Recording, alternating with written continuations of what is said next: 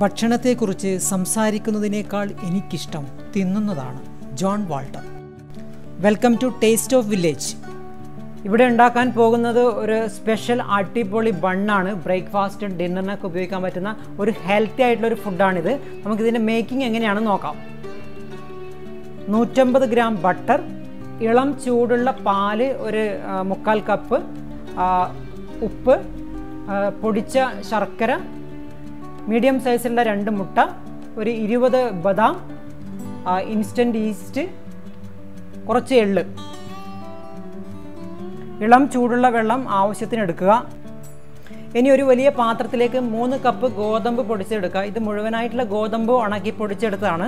ഇതിന് പകരം നമുക്ക് മൈദ ഉപയോഗിക്കാം. മൈദയാകുമ്പോൾ അതിൽ ഫൈബർ കണ്ടന്റ് തീരെ ഉണ്ടാവില്ല. അതുപോലെ ഫ്ലേവറിലും കുറച്ച് വ്യത്യാസം ഉണ്ടാവും. ഈ മൂന്ന് കപ്പ് ഗോതമ്പ് പൊടി എന്ന് പറയുമ്പോൾ ഏകദേശം ഒരു നാനൂറ് ഗ്രാം ഗോതമ്പ് പൊടിയാണ് ഇവിടെ എടുത്തിട്ടുള്ളത്. ഇനി ഇതിലേക്കായി ഓരോ ഐറ്റംസ് ചേർത്ത് കൊടുക്കുകയാണ്. ആദ്യമായി ചേർക്കുന്നത് ഈസ്റ്റ് ആണ്. രണ്ട് ടേബിൾ സ്പൂൺ ഇൻസ്റ്റന്റ് ഈസ്റ്റ് ആണ് നാനൂറ് ഗ്രാം ഗോതമ്പ് പൊടിക്ക് വേണ്ടി ഉപയോഗിച്ചിട്ടുള്ളത്. അര ടീസ്പൂൺ ഉപ്പ് ചേർക്കുക. ഒരു ഇരുപത്തഞ്ച് ഗ്രാം ശർക്കര നന്നായി പൊടിച്ചത് ചേർക്കുക. മധുരത്തിന് ആവശ്യത്തിനനുസരിച്ച് സ്വല്പം കൂട്ടുകയോ കുറയ്ക്കുകയോ ചെയ്യാം.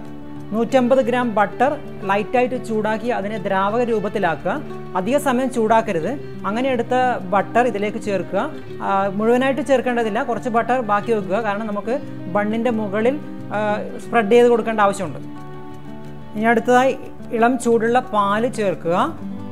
കുറച്ച് എടുത്തു വെച്ചിട്ടുള്ള ബട്ടറിലേക്ക് ഒരു മുട്ട പൊട്ടിച്ച് അതിന്റെ വെള്ള ചേർക്കുക മഞ്ഞ ചേർക്കരുത്. ബാക്കി വരുന്ന ഭാഗം ആ ഗോതമ്പ് പൊടിയിലേക്ക് ചേർക്കുക. ഒന്നര മുട്ട ഗോതമ്പ് പൊടിയിലേക്ക് ചേർക്കുക. ബട്ടറിലേക്ക് മഞ്ഞ ചേർക്കേണ്ടതില്ല. കടയിൽ നിന്ന് വാങ്ങിക്കുന്ന ബണ്ണിന് പൊതുവേ ഈ മുട്ട ചേർക്കാറില്ല. പക്ഷെ ഇതൊരു സ്പെഷ്യൽ ഒരു ഹെൽത്തി ആയിട്ടുള്ള ഒരു ബണ്ണാക്കി മാറ്റാൻ വേണ്ടിയിട്ടാണ് ഇവിടെ ഇതിൽ മുട്ട ചേർക്കുന്നത്. എല്ലാ ഐറ്റംസും ഇവിടെ ചേർത്ത് കഴിഞ്ഞു. ഇനിയെല്ലാം നന്നായിട്ടൊന്ന് മിക്സ് ചെയ്യുക. മൈദ പോലെ പെട്ടെന്ന് ഇതാവില്ല. കാരണം എന്ന് വെച്ചാൽ ഇത് ഗോതമ്പ് ആയതുകൊണ്ട് ഇതിന്റെ ഫൈബർ കണ്ടന്റ് കൂടുതലായിരിക്കും. പെട്ടെന്ന് നമുക്ക് വേണ്ടുന്ന രീതിയിൽ മിക്സ് ചെയ്ത് കിട്ടില്ല. വളരെ സാവധാനം മിക്സ് ചെയ്തതിന് ശേഷം ഇതിലേക്ക് ഇളം ചൂട് വെള്ളം ചേർക്കുക. അധികം ചൂടുള്ള വെള്ളം ആവരുത്. നേരത്തെ എടുത്തു വെച്ച ലൈറ്റ് ചൂടുവെള്ളമായിരിക്കണം. കാരണം ഇതിൽ ചേർത്തിരിക്കുന്ന ഈസ്റ്റ് ഫെർമെന്റേഷൻ നടക്കണമെങ്കിൽ ഒരു ഇളം ചൂടുണ്ടെങ്കിൽ മാത്രമേ കൃത്യമായിട്ട് അതിന്റെ പ്രവർത്തനം നടക്കുകയുള്ളൂ. അമിതമായി ചൂടായി കഴിഞ്ഞാൽ ഇതിന്റെ ഈസ്റ്റ് വർക്കൗട്ട് ആവില്ല. അതെല്ലാം ഡെഡായി പോകും. ഇനി ഇത് നന്നായിട്ട് കുഴഞ്ഞു വരുന്നുണ്ട്. ഇതിലേക്ക് ചൂടുവെള്ളം ആദ്യമേ മുഴുവനായിട്ട് ഒഴിക്കരുത്. ആവശ്യത്തിനനുസരിച്ച് കുറച്ച് കുറച്ച് ആഡ് ചെയ്തുകൊണ്ട് ഇത് കുഴച്ചെടുക്കുക. ഇതൊരു പതിനഞ്ച് മിനിറ്റോളം നന്നായിട്ട് പ്രസ് ചെയ്ത് കുഴച്ചെടുത്താൽ മാത്രമേ ഇതിന്റെ ഫെർമെന്റേഷൻ പ്രോപ്പറായിട്ട് നടക്കുകയുള്ളൂ. കാരണം ഈസ്റ്റാണ് ഇതിൽ ചേർത്തിരിക്കുന്നത്. നമ്മുടെ ചപ്പാത്തീന്റെ ഒരു പരുവത്തിലല്ല നമ്മളിത് കുഴച്ചെടുക്കുന്നത്. അതുകൊണ്ട് ഇത് നന്നായിട്ട് സോഫ്റ്റ് ആവണമെങ്കിൽ ഒരു പതിനഞ്ച് മിനിറ്റോളം കുഴക്കേണ്ടതുണ്ട്. ഈ ഗോതമ്പ് പൊടിക്ക് പകരം നമുക്ക് മൈദയാണ് ചേർത്തതെങ്കിൽ ഇതിന് കുറച്ചും കൂടി ഫാസ്റ്റായിട്ട് നമുക്കിത് കുഴച്ചെടുക്കാൻ പറ്റും. അതുപോലെ കുറേയും കൂടി ഇത് പൊങ്ങി വരികയും ചെയ്യും മൈദയാണെങ്കിൽ.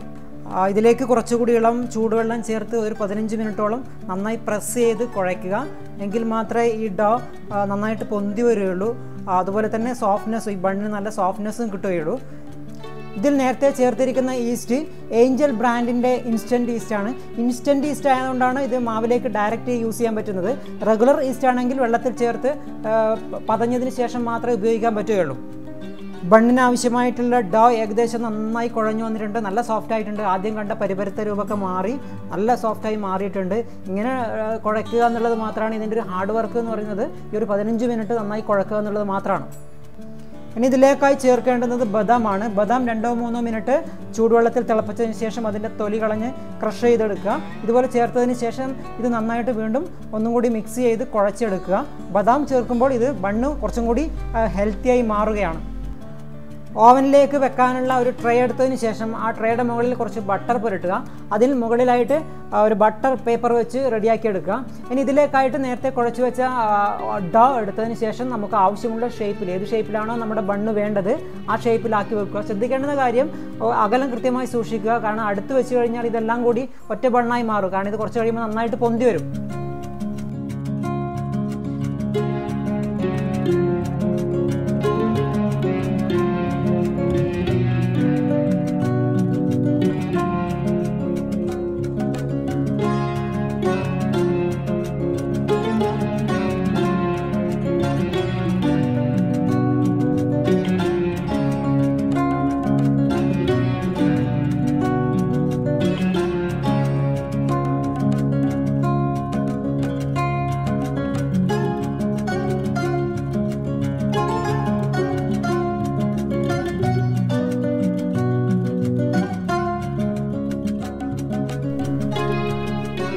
ബൺ ഉണ്ടാക്കേണ്ടതിന്റെ സെക്കൻഡ് സ്റ്റേജിലേക്കാണ് കിടക്കുന്നത്. ഈ സ്റ്റേജിൽ ഒരു വലിയൊരു പാത്രം എടുത്തതിന് ശേഷം അതിൽ കുറച്ച് വെള്ളം ഒഴിച്ചതിന് ശേഷം നന്നായി തിളപ്പിക്കുക. ഈ ഒരു സ്റ്റേജ് എന്ന് പറയുന്നത് നമ്മുടെ തയ്യാറാക്കി വെച്ച ഡോ പൊന്തി വരാൻ വേണ്ടി എടുക്കുന്ന ഒരു സമയമാണ്. ഫെർമെന്റേഷൻ പ്രോപ്പറായിട്ട് നടന്നാൽ മാത്രമേ ഈസ്റ്റിനൊരു അപ്രോപ്രിയ ആയിട്ടുള്ള ഒരു ഒരു ടെമ്പറേച്ചർ കിട്ടിക്കഴിഞ്ഞാൽ മാത്രമേ നന്നായിട്ട് പൊന്തി വരുള്ളൂ. അപ്പോൾ ആ ഒരു സ്റ്റേജിൽ സ്വാഭാവികമായിട്ടും പൊതുവേ നമ്മൾ ബണ്ണോ അല്ല ബ്രെഡോ ഒക്കെ ഉണ്ടാക്കുന്ന സമയത്ത് ഒരുപാട് സമയം വേണ്ടി വരും. ശരിക്കും ഒരു ഒരു വൺ ഡേ ഒക്കെ എടുത്താൽ മാത്രമേ ശരിക്കും നന്നായിട്ട് പൊന്തി വരുള്ളൂ.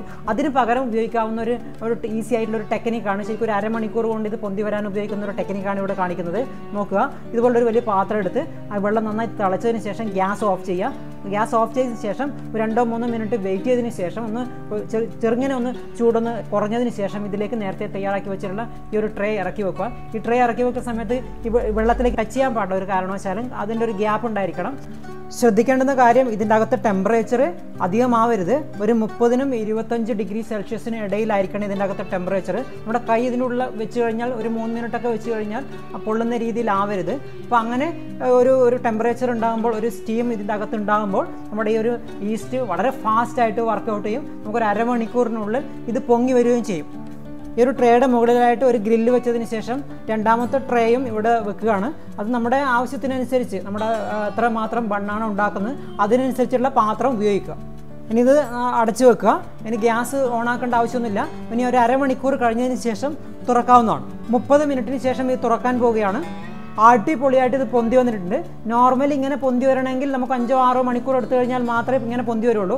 ഈ ഒരു ടെക്നിക്ക് ഉപയോഗിക്കുമ്പോൾ നമുക്കൊരു അര മണിക്കൂർ കൊണ്ട് ഇതിന്റെ ഫെർമെന്റേഷൻ അല്ലെങ്കിൽ ഇത് പൊന്തി വരാനുള്ള ഒരു പീരീഡ് കഴിയുകയും നമുക്കൊരു മാക്സിമം എല്ലാ വർക്കും കൂടി ഒരു മണിക്കൂർ കൊണ്ട് നമുക്കൊരു എട്ട് ബണ്ണ് ഇതുപോലെ ഉണ്ടാക്കിയെടുക്കാൻ പറ്റും.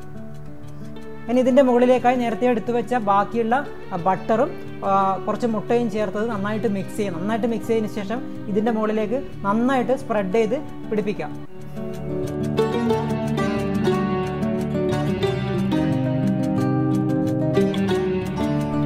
ഇതിന്റെ മുകളിലേക്കായി എള്ള് വിതറുക. എല്ലാ വശത്തും ഒരുപോലെ എള്ള് വിതറുക. അങ്ങനെ ബണ്ണുണ്ടാക്കേണ്ടതിന്റെ സെക്കൻഡ് സ്റ്റേജും ഇവിടെ പൂർത്തിയായിരിക്കുന്നു. ഇനി ചെയ്യേണ്ടുന്നത് ബേക്കിംഗ് ആണ്.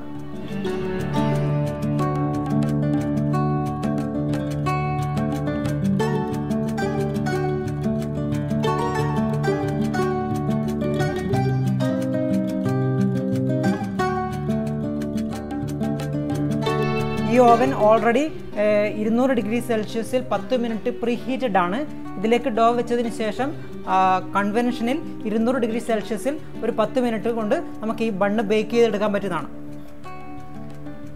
ഇങ്ങനെ ഈ ഒരു സൈഡ് ബേക്ക് ചെയ്തതിന് ശേഷം ഇതിന്റെ ഓപ്പോസിറ്റ് സൈഡ് മൈക്രോ കൺവെൻഷനിൽ ഒരു ഇരുന്നൂറ് ഡിഗ്രി സെൽഷ്യസിൽ ഒരു മൂന്ന് മിനിറ്റ് കൂടി വെച്ച് കഴിഞ്ഞാൽ ഇത് പ്രോപ്പറായിട്ട് ബേക്ക് ചെയ്ത് കിട്ടും അങ്ങനെ നമ്മുടെ കിഡിലൻ ബണ്ണ് റെഡിയായി. ഇതൊരു സൂപ്പർ ഹെൽത്തി ഫുഡാണിത്. ബ്രേക്ക്ഫാസ്റ്റിനും അതുപോലെ ഡിന്നറിനൊക്കെ ഉപയോഗിക്കാൻ പറ്റുന്നതാണ്. എസ്പെഷ്യലി കുട്ടികൾക്കൊക്കെ ഇഷ്ടപ്പെടുന്ന ഒരു നല്ലൊരു ഫുഡാണിത്. ഇതിന്റെ ഉൾഭാഗം വളരെ സോഫ്റ്റ് ആയിരിക്കും. നമുക്കിത് വേണമെങ്കിൽ മൈദ ഉപയോഗിച്ചിട്ടും ഈ ബണ്ണ് ഉണ്ടാക്കാം. മൈദ ഉപയോഗിച്ച് ഉണ്ടാകുമ്പോഴുള്ള വ്യത്യാസം എന്ന് പറയുന്നത് ഇത് കുറേ മൈദ ഉപയോഗിക്കുമ്പോൾ കുറേ കൂടി സോഫ്റ്റ് ആയി കിട്ടും. അതുപോലെ മൈദ ഉപയോഗിക്കുകയാണെങ്കിൽ അതിൽ ഫൈബർ കണ്ടന്റ് തീരെ ഉണ്ടാവില്ല എന്നുള്ളതാണ്. അപ്പോൾ എല്ലാവരും ഈ ഒരു ഈസി മെത്തേഡിൽ ബണ്ണുണ്ടാക്കുക അഭിപ്രായങ്ങൾ രേഖപ്പെടുത്താൻ മറക്കരുത്. ചാനൽ സബ്സ്ക്രൈബ് ചെയ്യാത്തവർ ചാനൽ സബ്സ്ക്രൈബ് ചെയ്യുക see you again with another video